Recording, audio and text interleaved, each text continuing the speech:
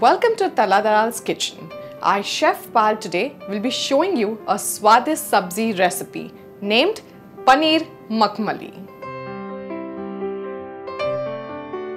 Paneer pieces marinated in an aromatic paste which is made of coriander along with some phudina and cashew nuts and then they are tossed in with some buttered onions.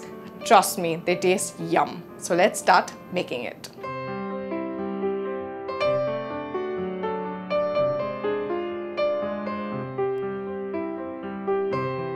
So first we'll start by making a thick paste. For that we'll need lots of chopped coriander.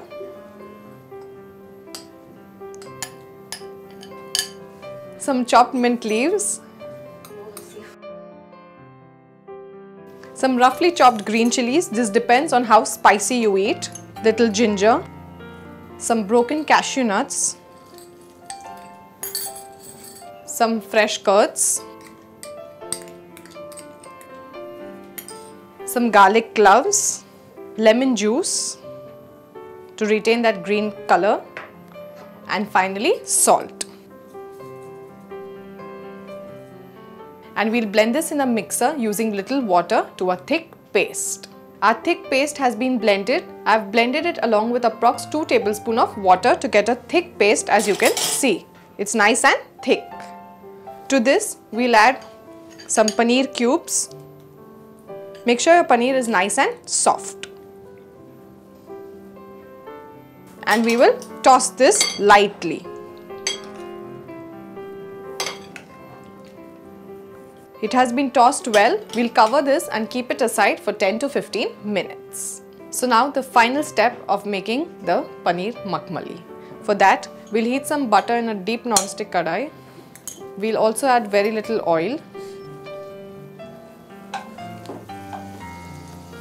To this we'll add some sliced onions and we'll saute this on a medium flame for 2 to 3 minutes.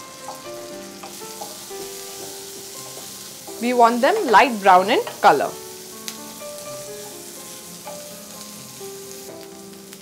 To this we'll add our marinated paneer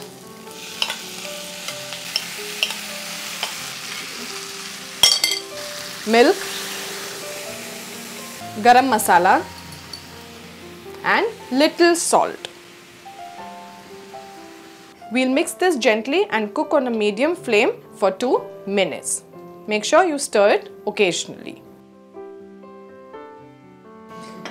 Our paneer makhmali is now ready to serve. We'll garnish it with some onion rings. Serve this immediately with parathas or butter naan and I'm sure you will enjoy it.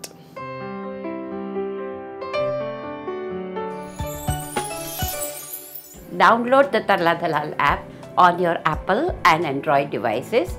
Follow us on the Facebook and tarladalal.com. If you enjoy our recipes, click like.